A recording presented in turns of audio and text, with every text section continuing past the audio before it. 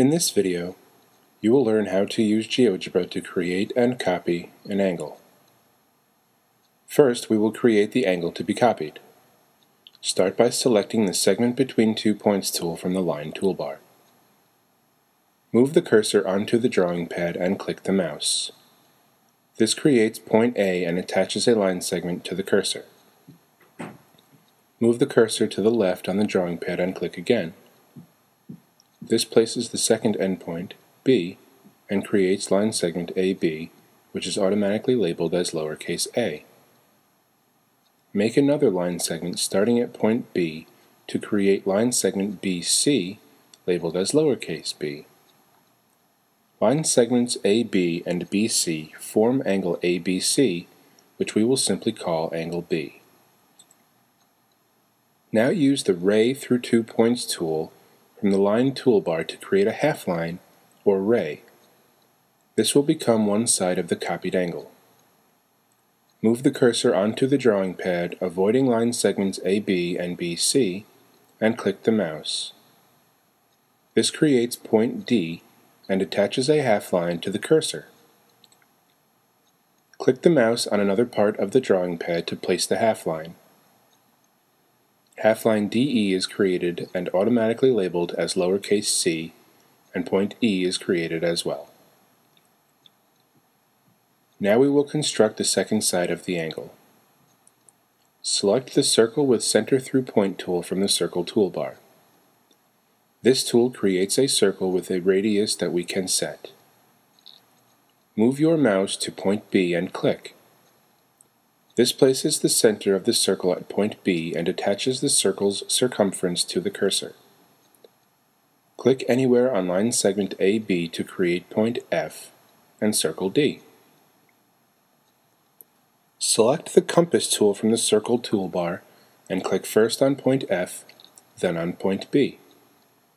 This attaches a circle with the same radius as circle D to the cursor. Move the cursor to point D and click to place the center of the circle at point D. Select the Circle with Center Through Point tool again and click on point F to center the circle at point F. Click on the intersection of line segment BC and circle D. This creates circle F and point G. Note that point G is black. I will explain this difference in color shortly.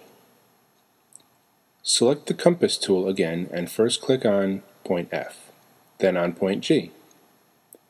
This attaches a circle with the same radius as circle F to the cursor. Click on the intersection of circle E and half line DE.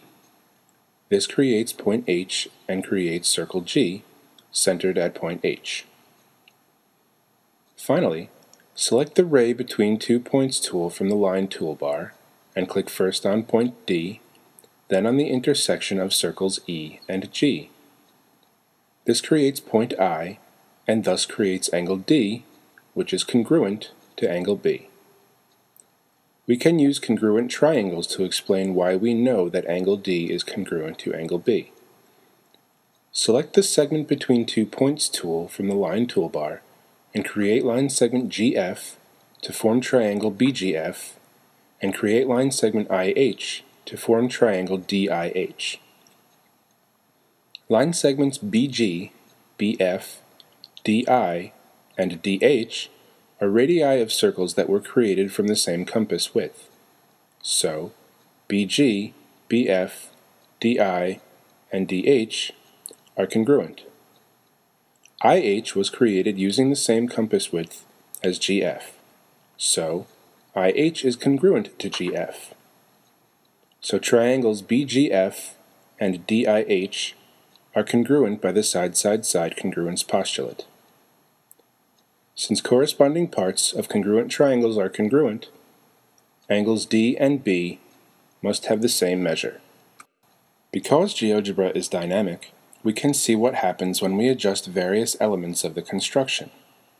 Select the Move tool from the toolbar. This tool allows for the movement of independent or semi-dependent elements in the construction. Dark blue points are independent. They can be moved anywhere on the drawing pad.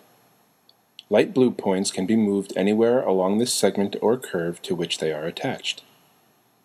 Black points cannot be moved with the cursor. They can only be moved by moving the objects to which they are attached. Moving point A can change angle B as well as the radii of circles D and F. Notice how angle D reflects the changes made to angle B. Moving point B also changes angle B. Moving points D and E does not change the measure of angle D because angle D is a copy of angle B. Moving point F along line segment AB changes the radii of circles D, E, F, and G.